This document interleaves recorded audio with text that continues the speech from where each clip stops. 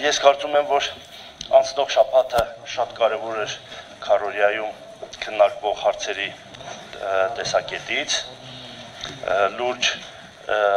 իրադարձություններ կարելի է համարել այս անգամ գրանցված ազգային ժողովում շաբաթվա ընթացքում քննարկվող հարցերի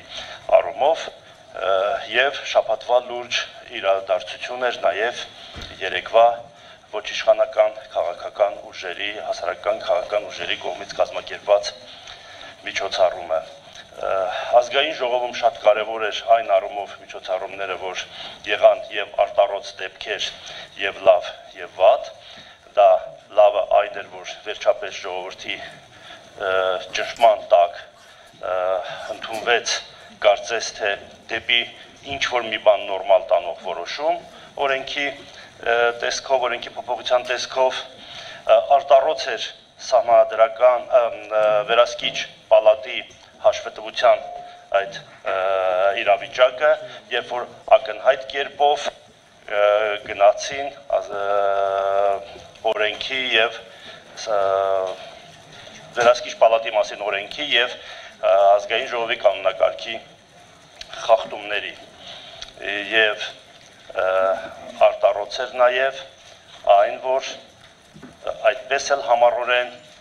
էլի կանոնակարգի խախտումով քննարկման չդրվեց արտահերտ ճանաչված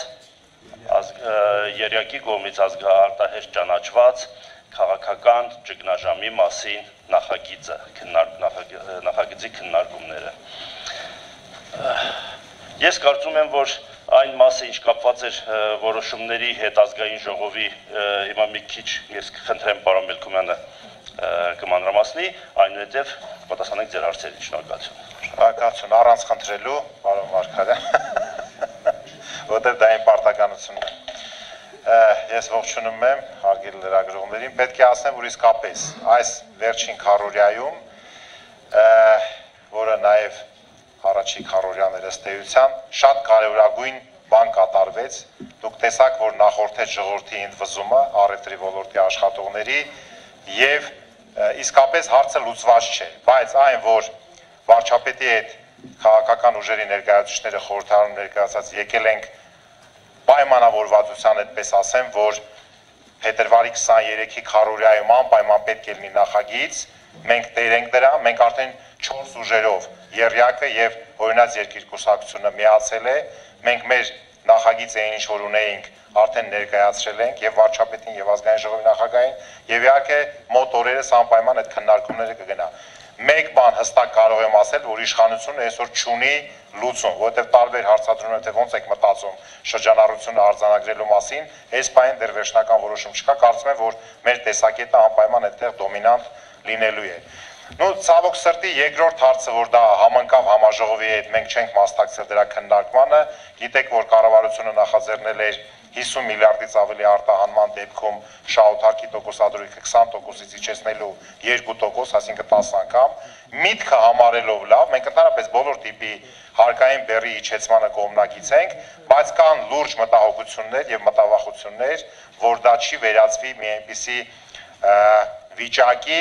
երբ ասենք մի որևէ գրասենյակ, մի որևէ ձեռնարկություն ինքը կհավաքի եւ այսպես մեծածախ ձևով կարտահանի։ Դրա համար այն լիազորությունը, որ օրենքով նախատեսված է տալ կառավարությանը, մենք դրան դեմ ենք եւ ասում ենք, որ օրենքում պետք է ամրագրել մի քանի դրույթներ։ Ես մոտ օրերս կտամ այդ գրավոր առաջարկությունը, որ նախ եւ առաջ արտահանող ձեռնարկությունը պետք է իր մեջ լուրջ ներդրումներ կատարի, որ ինքը ուղղակի հավաքագրող չլինի մյուսներից մեկ եւ երկրորդ դիֆերենցիալ, այսինքն պարտադիր չի որ ուրեմն 50 միլիարդ եւ ավել։ Կարող ասկսենք 15-20 միլիարդից, որովհետեւ այդ արտոնության տակ չեն մտնում ոչ ակցիզային, ենթակցիզային, ուրեմն արտահանողները